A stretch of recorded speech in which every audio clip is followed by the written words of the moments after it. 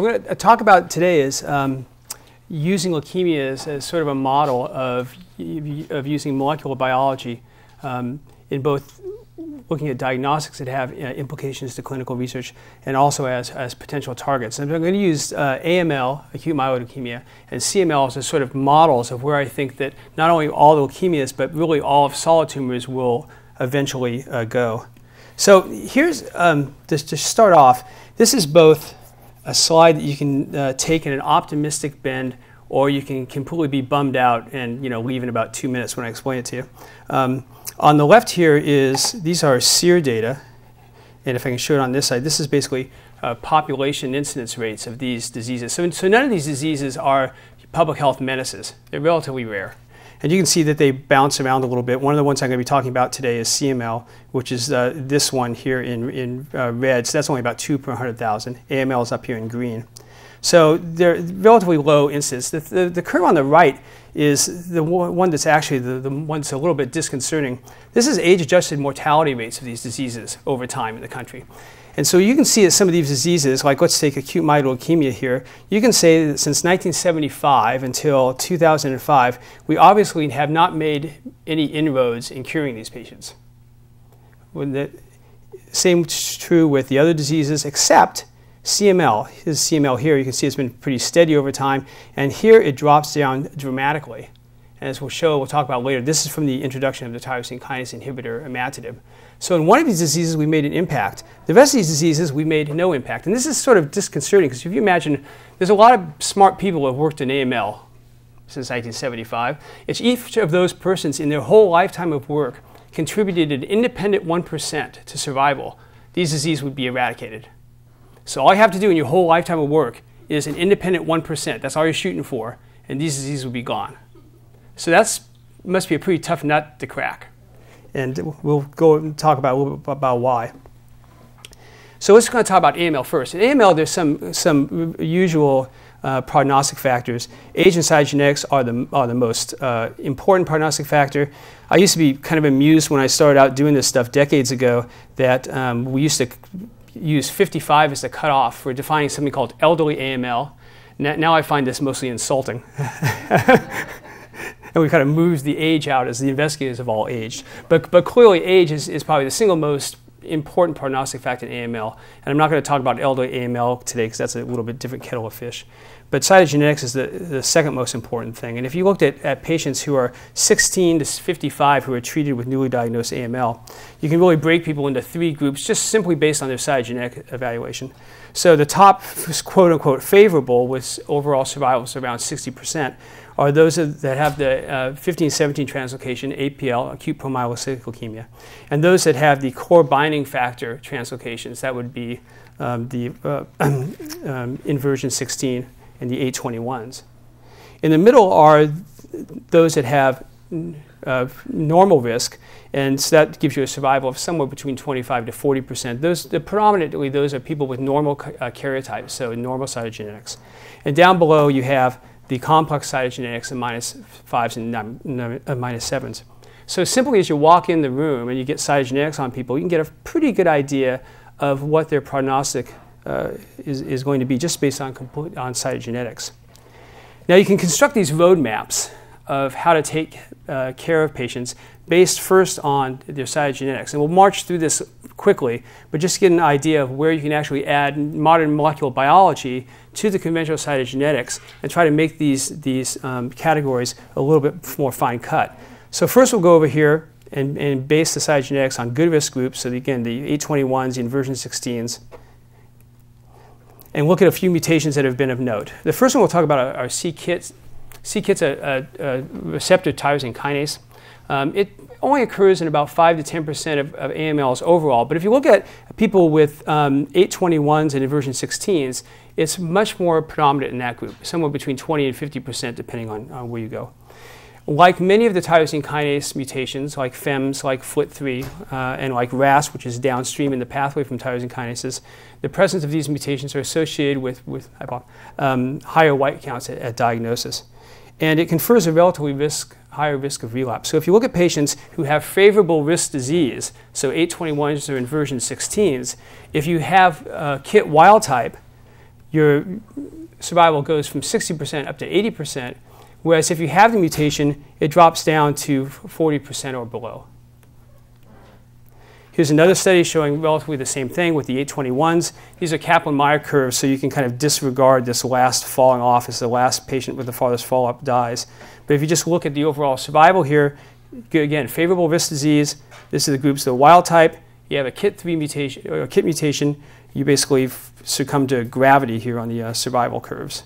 So you've taken someone who's a, who's a high risk group, a, a good risk group patient, and pushed them down to an intermediate risk or below simply by assaying for the KIT mutation. So that's one. But you can go, most of the work that's been done is in the intermediate group. Again, these are people who probably have a survival of about 25 to, to 40%. And there's a number of mutations that have been des- described in normal karyotype AML. The most prominent is the NPM mutation. You'll find that in about 50% of patients with normal karyotype. ITD mutations of the FLT3 gene, which we'll talk about in a minute, about 30% less in younger kids. So, like pediatric cases, about 10%. As you get to elderly AML in the 60s or so, it goes up to about 50%.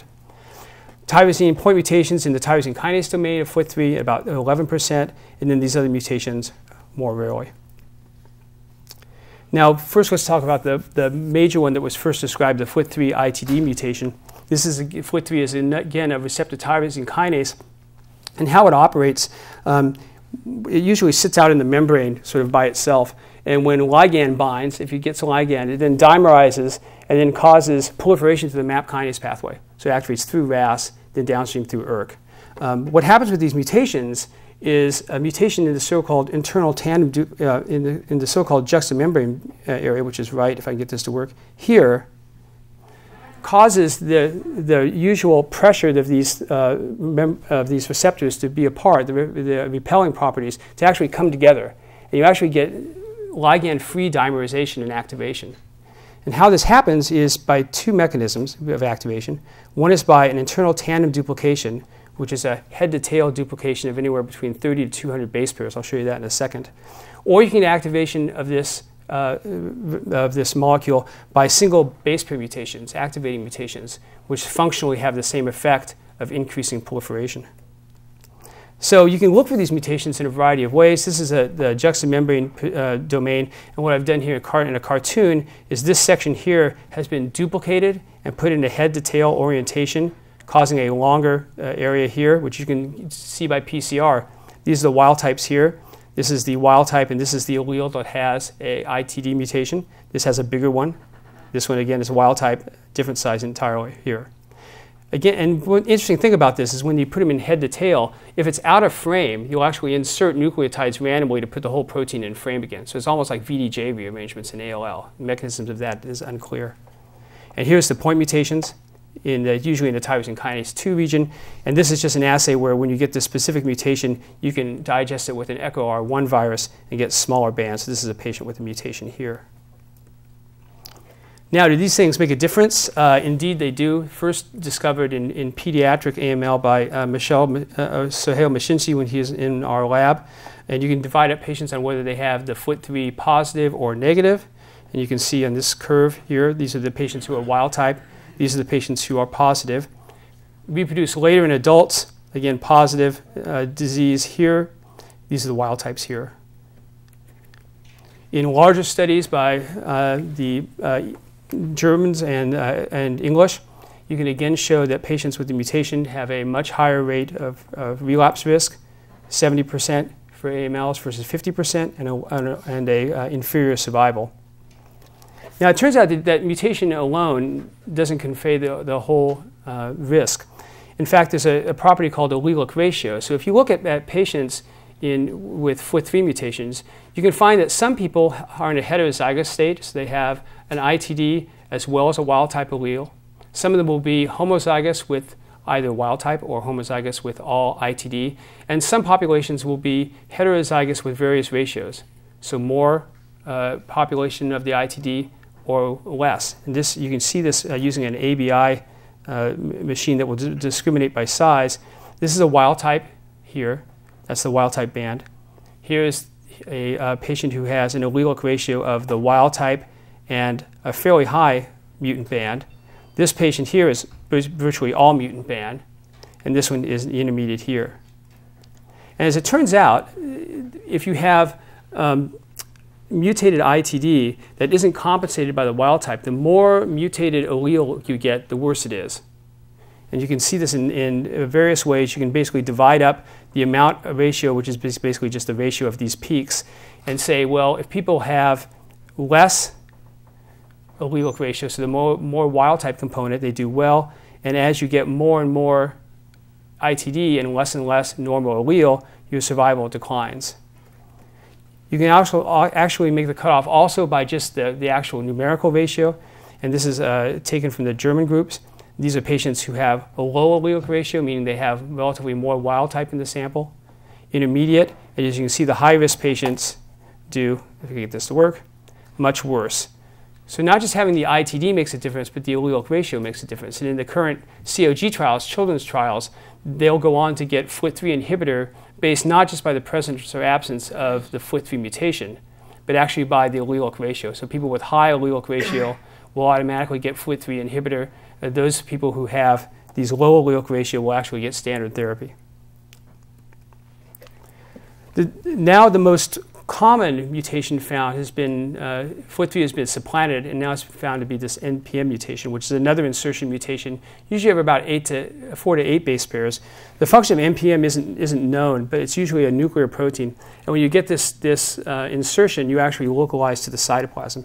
And even though the real function isn't known, we know a fair amount about the prognosis now in AML.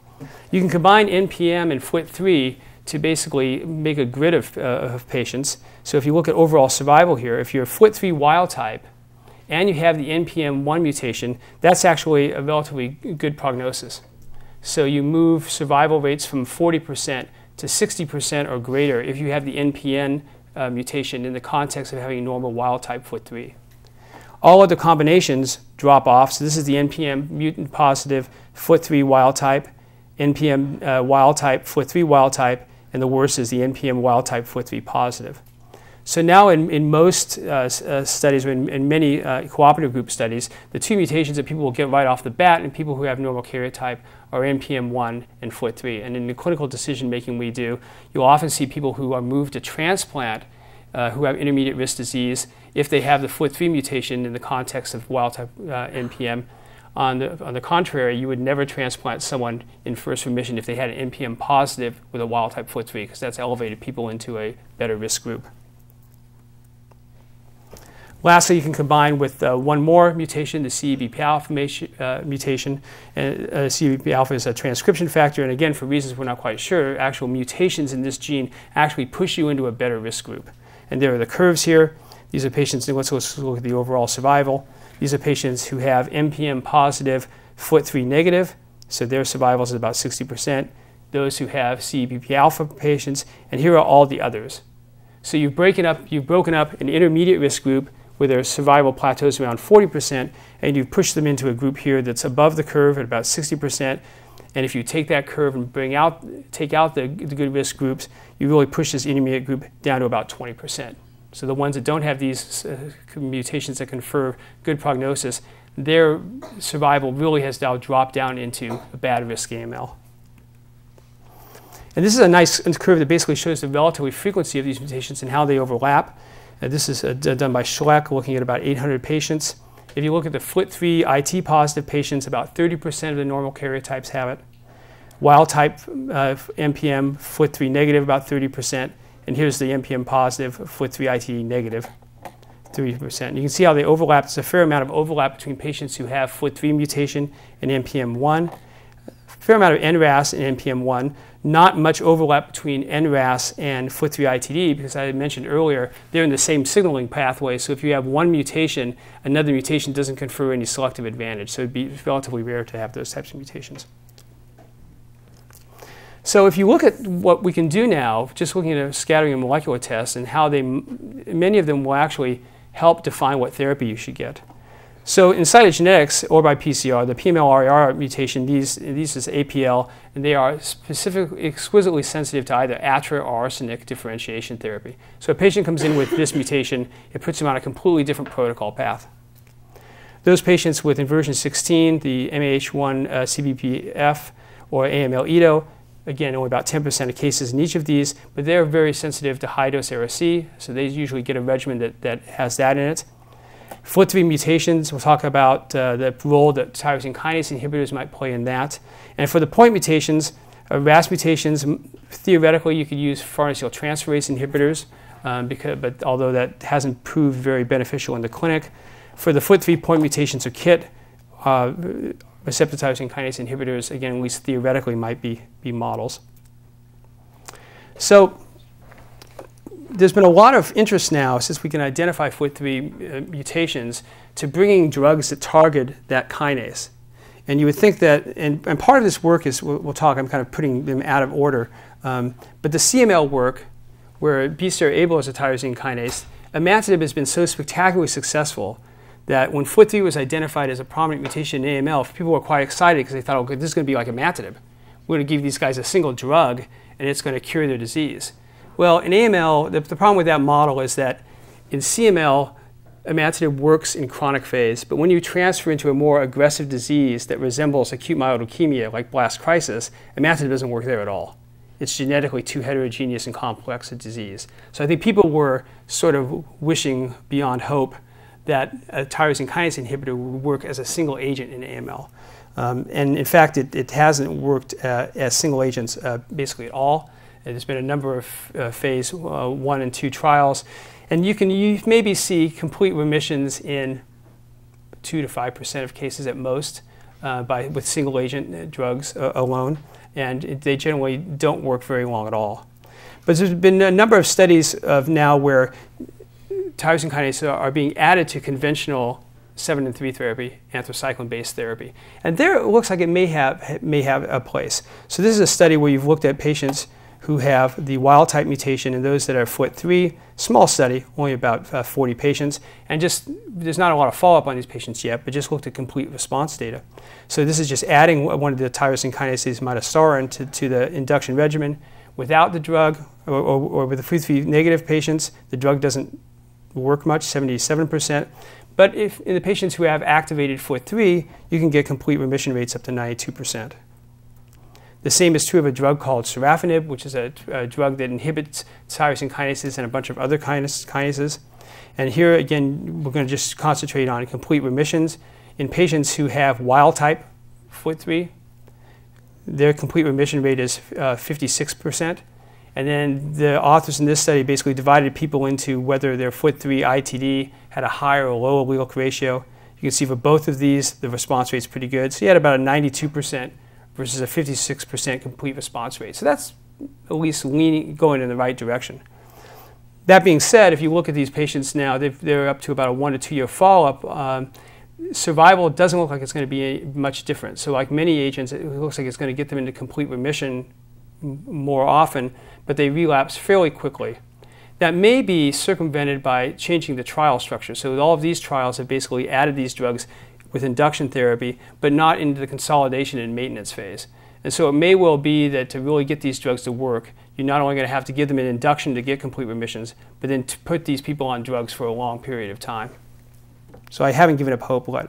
Now, from these types of mutation stuff, you can get these completely, this is the uh, National Cancer Care Network guidelines. You can get these elaborate tree structures, which you need like a GPS system to navigate through if you're, if you're a clinician. And this reminds me of a sign that I encountered once. Um, basically that not all signs are helpful. There's a sign in, in China that has like you know five different languages. Says this sign is to prevent foreign tourists from getting lost. So it's often these, these, these roadmaps of therapy are, are, are really not very useful, like this sign. But this is the way you can kind of reconstruct in AML the cytogenetic package. So here's our favorable risk cytogenetics, our intermediate risk, and our complex. And then we move in molecular markers to, to kind of influence risk. So favorable risk are these translocations, or an NPM mutation and a wild type FLT in a, a, person with normal karyotypes. That moves those people to here, right? If you have patients with um, um, a KIT mutation, they can move from here down to here. So good risk that has a KIT mutation drops down. And uh, here, the wild type NPM and FLT3 ITD with a high allelic ratio moves from intermediate to down. So you can start combining conventional cytogenetics and these molecular markers to sort of restructure what risk groups really are. This is another way of doing it uh, that we propose for SWOG. Again, 15, 17 are the great risk. 821s with KIT mutations, wild type, normal mutation go down there. And we talked about the NPM uh, going from either intermediate risk or pushing them down to poor risk. Now, this is all fine, fine and good, but at, at SWOG, Southwest Oncology Group, there's currently no money from the NCI to do this kind of testing. So they asked me to come up with something uh, faster and cheaper that we could actually do in a large trial. And so this is a modification of um, the Monty Python method, where you actually you, you, you, drown someone, you know, and she turned me into a newt. and if you sink, you're at a good risk. Um, and if you float, you then move to tarot cards. And if you get un- Angel, Sun, Wheel of Fortune, it moves you into a good risk. Uh, devil, Death, or Hangman, poor risk. And others is the intermediate risk. And I think this is, um, this is a, you know, we can do this pretty quickly. It takes only a small tub, and it's uh, relatively cheap. So I think that, uh, you know, surprisingly enough, I think that the, eh, the SWOG might be interested in this. So, so let's really turn now to um, CML. Now, CML is, like I said, it's, it's really not a public health menace. It's two per 100,000. But in, in, grants and the like, we always talk about this, this proverbial going from bench to bedside. You know, a lot of that is grantsmanship, frankly. Um, but, but in CML, it, it, it's really probably true. I mean, CML was the first disease where a unique chromosomal abnormality associated with disease was found, the Philadelphia chromosome. Um, this is a reciprocal translocation between chromosome 9 and 22, so called because Peter Nowell discovered it at the Wistar Institute. Um, otherwise, it might be the buffalo chromosome or something. Um, it, was a, it was the first uh, disease where a specific gene uh, responsible associated with that chromosome was detected. So in the Philadelphia chromosome, they found that it's the juxtaposition of chromosome of the BCR gene from chromosome 22 with the downstream tyrosine kinase domain of ABL. And so that was the first time, the first disease where that type of unique gene fusion was found to be uh, uh, uh, pathogenic in the disease. It was the first disease where you could actually utilize uh, molecular detection like B- PCR to monitor patients based on this fusion uh, micro uh, mRNA. And, and now it's the first disease where a real t- so-called targeted therapy, tyrosine kinases, have been used to actually attack this ABL. So it's really an amazingly model of a disease. Now, this is the days before imatinib, um, just to show that, that even though it's chronic uh, myeloid leukemia, uh, when you progress to accelerated phase and blast crisis, uh, sort of all hell breaks loose. Um, so this is, even though it's chronic, it's really not that chronic. This is the days when you couldn't really cure people. So the median survival once you were diagnosed in chronic phase was, was only 71 months. In accelerated phase, 28 months. And in blast crisis, people die routinely of bleeding complications and infections because their normal hematopoiesis is gone. This is what this is a really dramatic slide from the MD Anderson. It shows different eras of CML chronic phase patients and how they've been changed with therapy. So the, the white curve here, yeah, my mouse will work, there we go, is really before you had any therapy at all. Okay?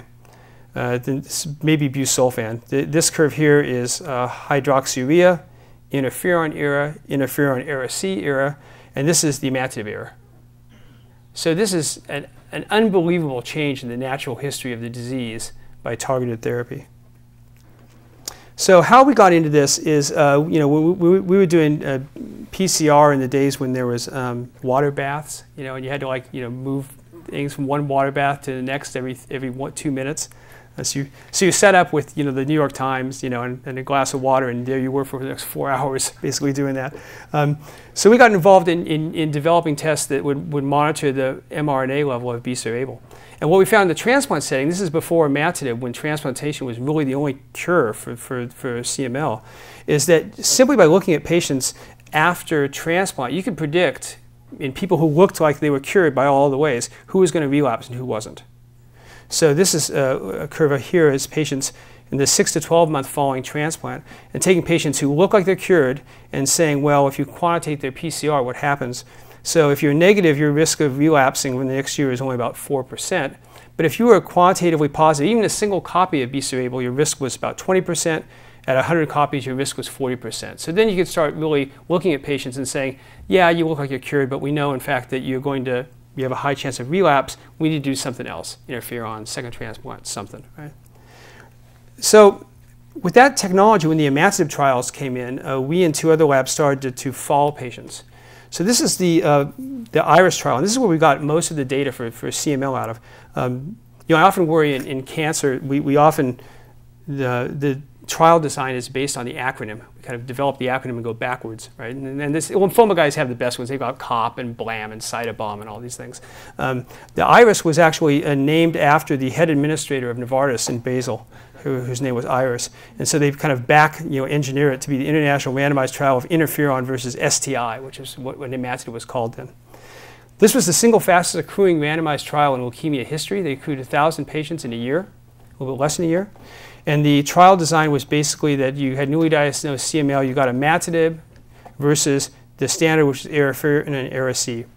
And you could cross over because if you didn't have enough um, response or if you had uh, problems with tolerance. Now, the tolerance was very hard to, to cross over because the word on the street was that imatinib was so good when you talk to patients. They'd, they would tell you, if I get randomized to interferon, I'm getting sick and I'm switching over. So if you were complaining of toxicity, you had to go in front of a board to, to cross over. So that was uh, controlled pretty well. Um, this trial was, was stopped early because of both efficacy and, um, and uh, rate of crossover. So as you can see here, 39% of the interferon Ara-C arm crossed over to imatinib because of efficacy, basically. Only 1% crossed over in the imatinib arm to interferon. So a remarkable difference. This is what the responses looked like. So uh, this is uh, one of the most common showed slides from this data set. It's actually one of the most commonly misinterpreted data, so I'll walk you through that. These are cumulative incidence plots. Uh, and so what it shows in red is the time it takes to get complete hematological remission. That just means normalization of your blood counts. So most CML patients come in with a white count of about 100,000. So this is the time it takes to be, become normalized. And most patients will normalize their counts by about three months, which is pretty remarkably fast. And then you can look at, these are measures of cytogenetic response, major cytogenetic response, which means two-thirds of your chromosome metaphases are free of uh, the Philadelphia chromosome are normal. And complete cytogenetic response is what you expect. You know, all your metaphases are normal. And so by 12 months, when the study was closed, um, 69% or 68% of pa patients achieved a complete cytogenetic response, as opposed to only 7% on the interferon Ara-C arm. Um, the study was actually powered for that arm to be have a rate of 25%. It, it, greatly underperformed. That's probably because another way you could cross over is if you didn't take your medicine. So a lot of people we, we think didn't, didn't take their interferon so they could cross over to the imatinib arm, which was, turned out to be the smart thing to do. Um, now, how this is misinterpreted is that is that when many people see this, they say, "Well, geez, this is great. At five years out, 80, almost 90% of my patients will be in complete cytogenetic response." That's not true because this is a cumulative incidence plot. So once you've achieved complete cytogenetic response, even if you achieve it only for a nanosecond, you count on the curve. So in fact, if you look at that five years out, only about 50% of patients are still on drug uh, in complete cytogenetic remission they've dropped out because of either tolerance issues or because of efficacy issues. But nonetheless, it's you know absolutely a, a tremendous drug. And this is a survival, event-free survival and progression-free survival, and you're talking 80 to 90 percent. So that's really revolutionary good drug. So based on this, you can get response criteria. Um, and use that to decide how patients are doing. Now, there's two major groups that do response criteria you'll see. One is the NCCN that I talked about before, uh, and one is the, the ELN, the uh, European Leukemia Net. I'm uh, an honorary European. I'm on this commission and also the NCCN. Um, and, and they're very similar except for two things. The NCCN concentrates on people who are doing well and those who are failing. So our our main role there is we want to kind of let people know when they should be switching drugs. Um, the ELN divides it up into optimal uh, and then failure, which is the same as NCN. But then they have all these other things like suboptimal and warning. And you know, I, I think most of us worry enough. And you know, and then these the, uh, these are basically categories where you don't do anything differently. You just kind of like brood about it, you know, and stuff. So so we we really concentrate on the failure rate. And so it's pretty actually easy to decide winners and losers with this drug on therapy. You basically say at three months, if you don't have a complete hematologic response, you fail imatinib. if by six months you haven't had some cytogenetic response, and that's minimal, you just have to like budge, right? You have to start off at 20 out of 20 metaphases positive. If you're at 18, that counts as a response. A partial cytogenetic response at 12 months, which means you want at least two thirds of your chromosomes free of, of, the, of the Philadelphia chromosome. By 18 months, you need to have a complete cytogenetic response. And at any time, if you lose your response or develop new clonal abnormalities, that's considered a failure. So does that work? Uh, it's really surprisingly good. So this is a, a, busy plot, and I won't torture you and plow all the way through it. But this looks at patients um, studied uh, at the Hammersmith in England and just uh, applied those criteria below to see how people do. And so you can divide patients, in, um, and we'll concentrate on this one, the six month one. So let's just divide people into two groups those who have failed therapy or people who have done anything better than failure. So just fail, not fail. So in the blue curves are those that have failed. So if you look here, this is the proportion of patients um, who will ever get a complete cytogenetic response based on their six month value. So if you failed at six months, your chance of ever going on to get a complete cytogenetic response is only 20%. As opposed to if you've done anything better than failure, your risk, your chance is 90%. So that's a pretty good cutoff. You can also, the top two plots look at progression-free survival. If you are a failure, you're down to 70%. And if you have done anything better than failure, you're at 90%. And those type of, of things hold through all of these. They're really very, very good criteria for telling patients and predicting who's going to do well and who's not, just by basis of their cytogenetic categories at, at those time points. But you can actually do even better, and that is by adding molecular diagnostics. This curve looks at the 12 month landmark data and divides people into three groups and looks at their progression free survival. So the first group is those who have not had a complete cytogenetic response. Their progression free survival is about 75%.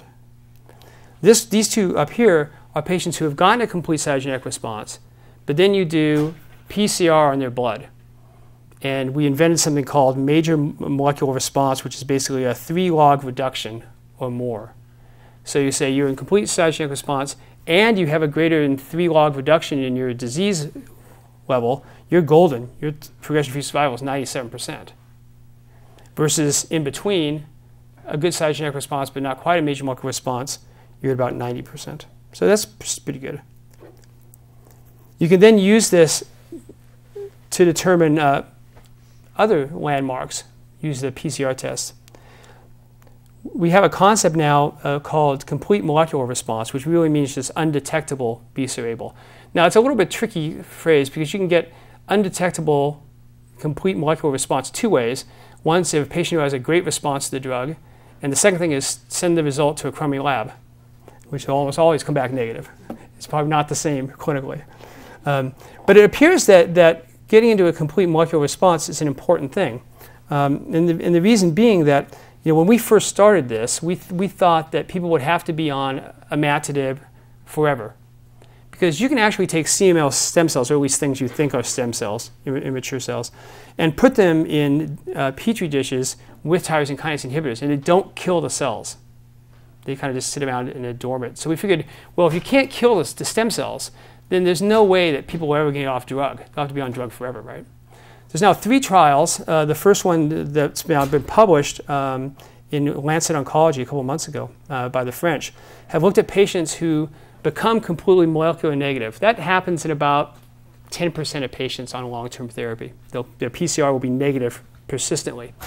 Surprisingly enough, if you take people who are two years completely molecular negative off drug, about half of them relapse pretty quickly disease comes back. The other halves have been stayed negative for a couple years. So there may be a subset of patients who can actually get off these drugs, which is really quite surprising to us. So that's made people interested in using complete molecular response as a possible endpoint. So this study looks at if you have an MMR or not at 12 months, what's your chance of, of ever becoming undetectable? And it's sort of what you expect. If by 12 months you've had a three log reduction, right, your chance of becoming completely molecular negative is about 80%. Whereas if you haven't gotten that far that fast by 12 months, your chance of ever becoming completely negative, just one drug alone, is pretty low. So there are trials now where we're trying to actually give this group of patients who aren't major molecular response at 12 months either a stronger tyrosine kinase or adding another type of inhibitor, like a hedgehog inhibitor or a SMO inhibitor, um, to basically drive those stem cells down to extinction. This just looks at backing it up even further. Let's look at three months. Can you get information from the peripheral blood at three months that makes a difference? And this just looks at the probability of MMR, so the chance that you're ever going to get a major molecular response based on just your three month level. And it's sort of as you expect. If you have a no log or a one log reduction, your chance of ever getting a major molecular response is pretty darn low. And if you go on the other extreme, if your disease has already gone down two logs in, in three months, the chance that it's going to go down further another log is virtually guaranteed. This just shows that this is the flip side of this. This is a resistance and shows exactly what you expect. If you've had a crummy response at three months by major molecular response or by uh, log reduction, your chance of ever of getting resistance is in fact quite high. And this is the, the last uh, study to look, uh, to look at this. This is again looking at just time to response, again on a peripheral blood assay, and saying here's your time to major molecular response, and here's the events in forward time, meaning loss of response, resistance, getting accelerated phase of blast crisis. If your disease responds fast and you get into a major molecular response by six months, the chance of anything bad happening to you is 0 out of 41 and the chance of you getting a complete molecular response is 90%. Completely logically, if you are one that has kind of poopy disease, slow to, to, to go away, your chance of having something happen is 15%, infinitely higher. Your chance of ever getting to a complete molecular response is only 40%. So the, the peripheral blood PCR testing is, is extremely valuable prognostic uh, indicator. And it's great because you don't have to do bone marrows. You just do it on peripheral blood every three months, and you get a very amount of detail about how people are doing. So what happens if you're following someone and their disease molecular load goes in the opposite direction? Is that bad? You assume so, and the answer is pretty much yes. Now, the first thing you have to do when this happens is ask people if they're taking their drug. You would think that, that imatinib would be a really easy drug to take, right? It's a once a day drug, not a lot of toxicity very efficacious. You would think that compliance would be really quite good. So there's been a number of studies now where they've done pill counts, or in, in England, they've actually put radio frequency sensitizers in the caps of pills so they can actually tell how many times you take them off. And then they can figure out how, how many pills you take. So if you do self reporting and you say to people, how often, how religiously do you take your drug, right? So what would you guess that people say, I'm perfectly adherent? Like 70% of people say, I'm perfectly adherent. When you do the pill count, the count is actually about 30%. Um, and and the, by far the most important thing in keeping people in major molecular response and getting there is taking the medicine. Not surprising, right? So a lot of times when you see people whose PCR goes up, especially if they've been low a long time, you have to ask them, are you taking your meds? Because people sometimes who are getting a great response will, and especially if they're paying for this thing out of pocket, this is a $25,000 to $50,000 drug a year if you had a great molecular response and you're paying for out of pocket, people will hoard and take off and give themselves a drug holiday for a while, which is you know understandable. So the first thing when, when the, the tests bump up is make sure they're actually taking their drug. But nonetheless, sometimes it means that their disease is coming back. So here's, here's two curves showing um, relapse-free survival, uh, and, uh, and this one here basically shows what happens if your disease goes up a half a log to subsequent times. And if you have a rise of half a log, your chance, your relapse-free survival drops from about 85% down to about 25%. So clearly showing that things are going in the wrong direction. This looks at if you're in a major molecular response, what happens if you come out of major molecular response? And that basically shows if you have no loss of major molecular response, you're golden. Again, if you lose major molecular response, the chance of your relapse-free survival drops fairly dramatically. So it's a pretty good predictive test on how people are doing. Why people usually become resistant is actual single point mutations in the Abl tyrosine kinase. And so what you can imagine is if, if Abl tyrosine kinase kind of flips from an off conformation to an on conformation, these mutations basically change the structure of the molecule so the imatinib can't bind. And various mutations do that with various with better or less efficiency. But really, a single mutation you can find in about 50% of patients with resistance. And you can construct now tables um, based on so-called IC50s of these various mutations. So you take a cell line that has, doesn't have BCR-ABL, you put that you put a the BCR-ABL construct in it, and basically give all of these different clones different mutations. Then you grow them in in wells and see what concentrations of these drugs will inhibit about 50% of the colonies. And various ways of doing this give slightly different results. But what it allows you to do is when you give a patient with a mutation is to look and see what kind of mutation they have and get a rough idea of what drug, what are the new tyrosine kinases might work better than other ones. So it's very similar to what you do, we do in, in infectious disease. Now, it doesn't always work. Sometimes you have patients who have a sensitive mutation on paper and do, they don't respond to drug and vice versa. But as a rough guideline, if you have someone who becomes resistant to imatinib, you can start to get some idea of what drug you might want to take them from the, two, from, from the two other drugs that are available, nilotinib and, and dasatinib. The one that doesn't work is a so-called 359 mutation, which all the drugs right now out there available, none of them work on. So there are two new drugs out there now, dasatinib and nilotinib, that have been okayed, and those were first tested in the salvage setting. So the question is then, if you have someone with imatinib, they become resistant, can you salvage by putting on a second generation drug? These drugs in general are about 30 fold more uh, uh, potent than imatinib. Nilotinib was designed after imatinib with some structural differences, so it's really a pretty pure BCR-ABL uh, inhibitor. Uh, dasatinib was a drug that was on the shelf. It was actually originally a SRC inhibitor, but it has very potent BCR-ABL activity, so it inhibits a, a bunch of kinases. So this curve shows basically the dasatinib results, very similar trials, people failing uh, imatinib because of either intolerance or because of resistance, and can you recover patients? So if you just concentrate on the resistance, in both of these drugs, about 40% of patients who become resistant, you can get back into a complete cytogenetic remission again, which is good. I mean, that means that the other percentage don't go there, and that's a bit of a problem. And of these 40% that get a complete cytogenetic response, realistically about half of them will relapse again. And when they relapse, they relapse with different mutations. So one of the things we worry about is that once resistance happens, resistance may be forever. In that as you introduce different selective pressure on this, disease with multiple clones, you're simply just going to get a, a, a new clone coming out every, every time. And what happens if you go from imatinib to nilotinib and you relapse and then get dasatinib or, or change those orders in any way you want to, turns out that the mutation that isn't affected by any of these drugs, the 359 mutation, becomes more and more prevalent in every setting. So 359 mutation ends up being sort of the common pathway for natural selection. So all the salvage therapies here are monotherapy? Yes, they're all monotherapy. So this looks at whether or not that IC50 I talked about really makes any difference in clinical practice or not.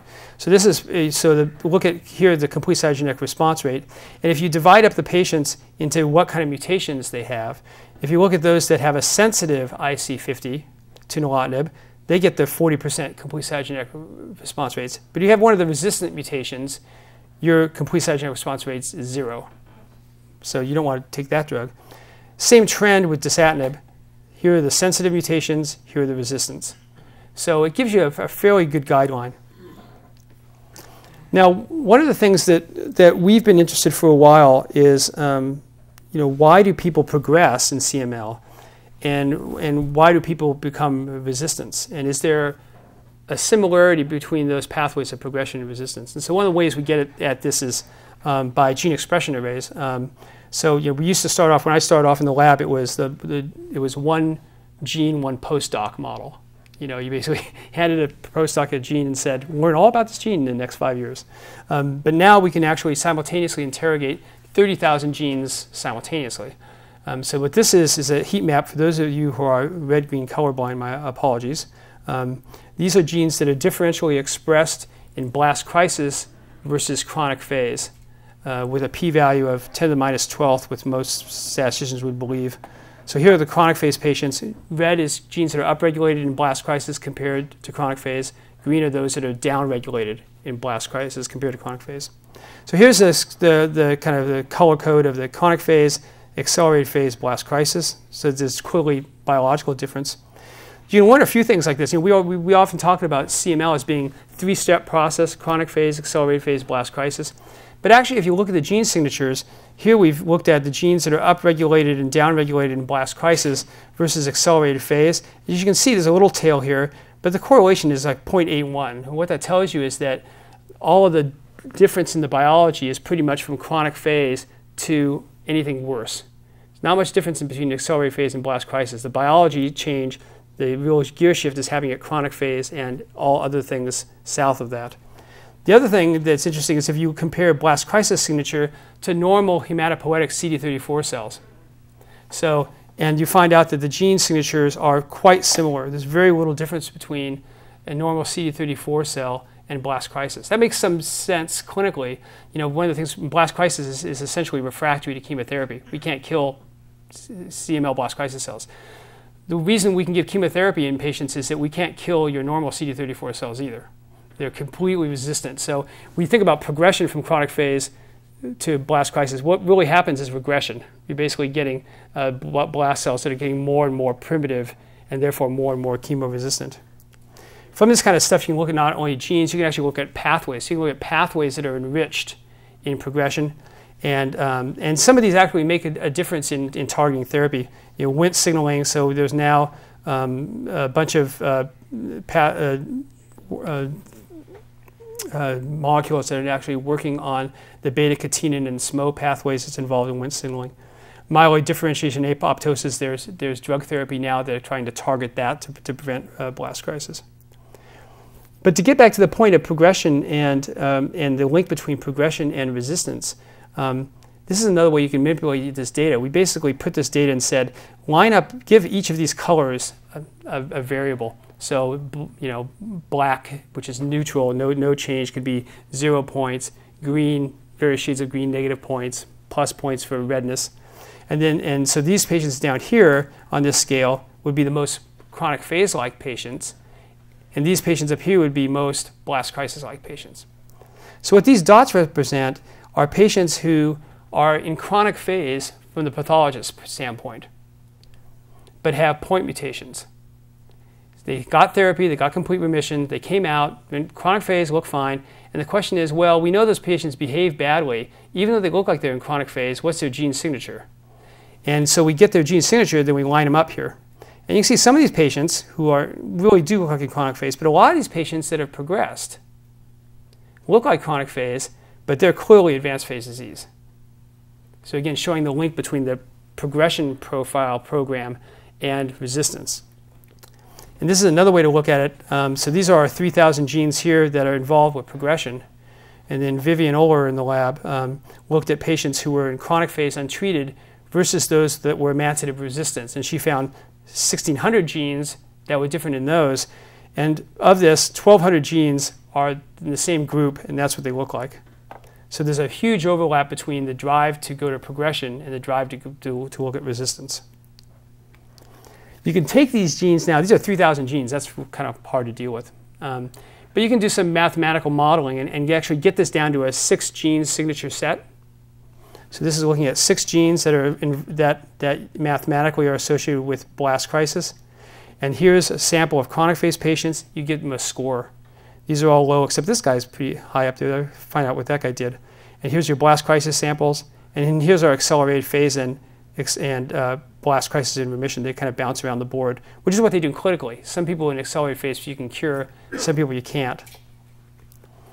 And this just shows that you can apply this progression signal to response. Because you would think that we know that that um, response maps to where you're at in disease phase. So, excel, uh, you know, blast crisis don't respond to TKIs at all. Chronic phase respond quite well. So what happens if you look at chronic phase patients?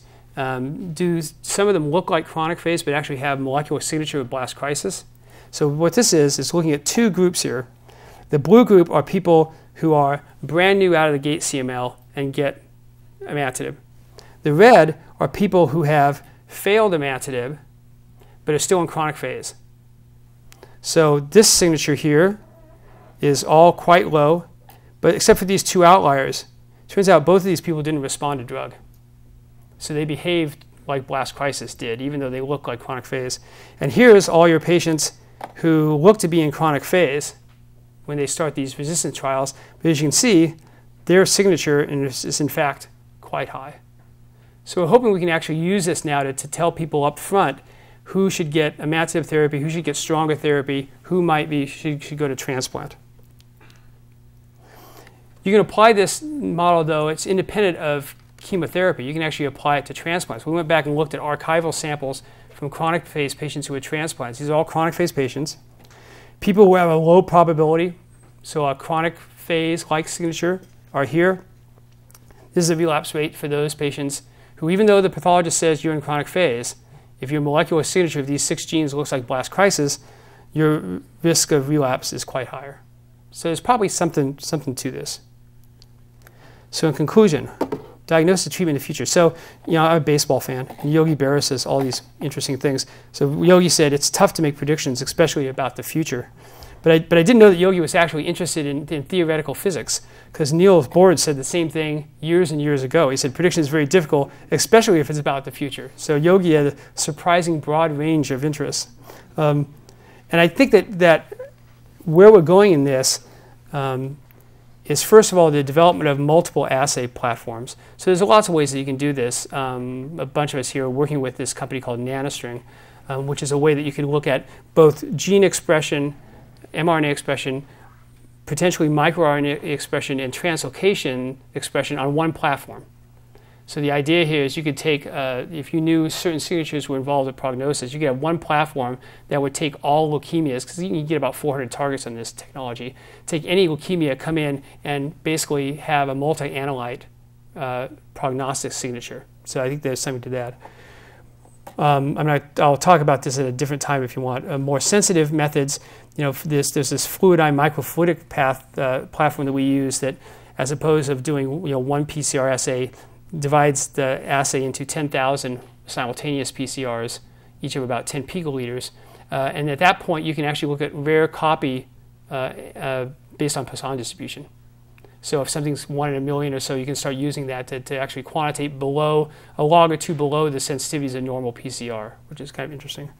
Um, and one thing I didn't talk about that is really the work that we're working on our, a lot in the lab is this whole uh, idea of, of clonal heterogeneity. I mean, if you think about why cancers do well or don't do well, and this is not just leukemias, you can imagine it's kind of three simplistic states. One is a, a, tumor that's fairly homogeneous and is sensitive, right? Those are the lucky ones where the disease melts away. And then you have a tumor that's homogeneous in, in genotype and resistant. Those are the people who just you can't do anything to.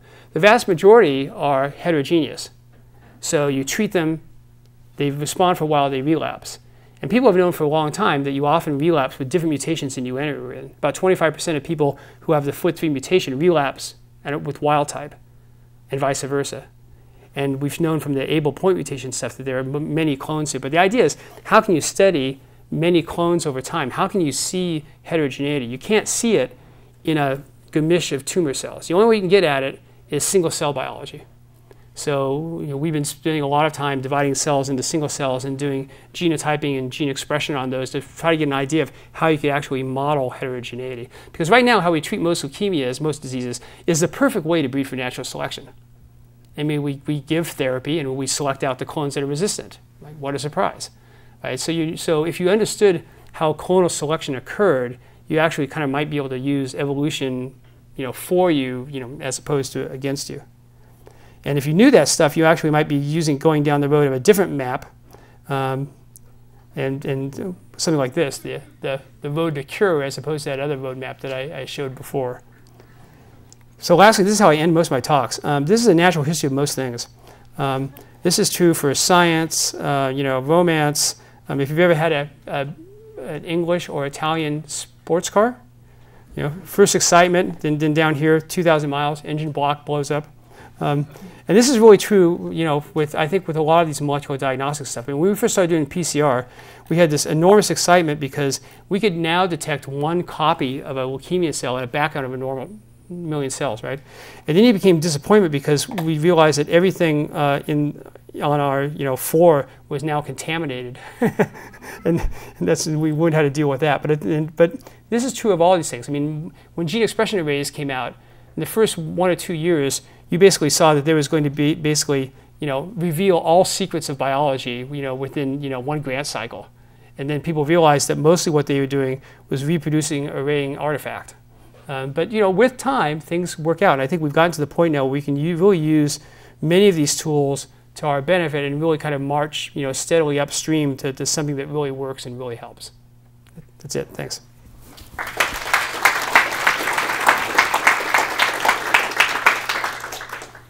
One of the nice things about your system, obviously, leukemia is uh, blood is a representative sample of what's going Yeah. on. Can you talk a little bit about how this could be expanded into the solid tumor phase, where you've got sampling issues and geographic issues and so forth? Right. So that's that, that's a, uh, obviously a, a huge issue. Um, the, the, you know, one thing that, that the liquid tumors have taught us is that the heterogeneity that we see, um, or, the, or may, may not be the biggest issue as we like. When you, look, when you look at people who do sequencing, whole genome sequencing, and you say, well, don't, as Tim Ley does most of this, you, you say, well, I'm going to send you some samples. Do I need to have 30, 40, 50% blasts?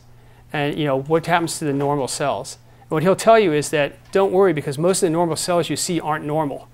You do the gene sequencing, even though they look normal, they're, they're actually all abnormal. In solid tumors, I would suspect says some things as well. I mean, I suspect that a lot of the surrounding cells probably aren't normal at all. Um, from a gene expression array signature, it, it, it becomes a philosophical standpoint because there's, there's been debates about this in the breast cancer work on gene expression. If you're looking at prognosis, which has to do a lot with uh, metastasis and stuff, should you get the tumor itself and just carve away all the stroma, or is the stroma really involved in the biology? I mean, you know, is, is it the really tumor that's driving disease, or is the interaction with the tumor and everything else around it? So you have one camp that says we have to get pure sample as possible. Another camp says no, no, the, the, it's a system biology that runs this thing. I want the, the gamisha stuff. I think a, a, lot, a lot depends on, on what you're looking for. For instance, we always talk about this all the time in, in um, leukemias, whether you need to isolate on select, you know, CD34 cells or whether you want the whole differentiated spectrum of cells. If you're looking at pure biology of cancer cell versus its normal complement, then you probably need to be as select as possible. Right? If you're looking at the natural history and biology of this, in which case you're treating a whole system, it may well be that the, the Gamish cells is what's actually more important.